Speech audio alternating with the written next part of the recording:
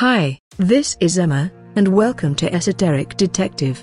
Recently I posted a video about a cigar-shaped UFO that appeared above a skier. This video was posted also on Secure Team 10 and a number of YouTube channels.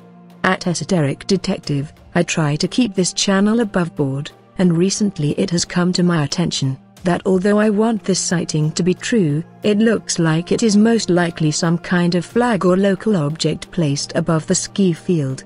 Evidence for this was brought to my attention by a number of people in the comments of the video.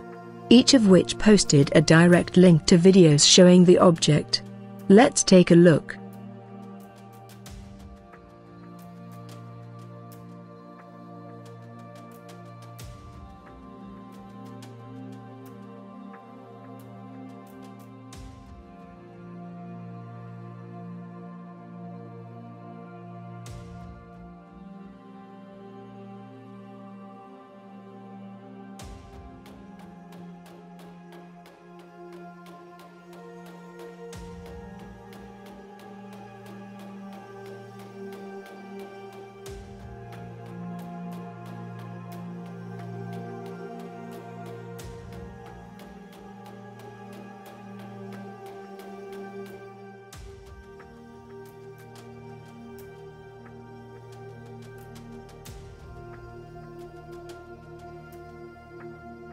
To be clear, I am not saying that I know 100% that it is not a UFO, I am just saying that there is evidence that cigar-shaped UFO is most likely an object on a wire related to the ski field, since it appears in a number of independent videos not linked to the original.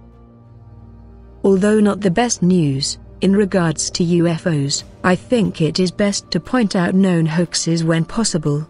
Again, I am not saying that I know 100% it is a flag, I am just saying that at this point, it looks highly likely. And if likely, it is my duty to expose it as a hoax.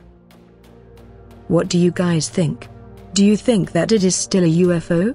Or do you think it is a flag or likewise object? Stay tuned and subscribe to Esoteric Detective to keep up to date with the strange and unusual. And please give a thumbs up if you liked the video. Until next time, goodbye.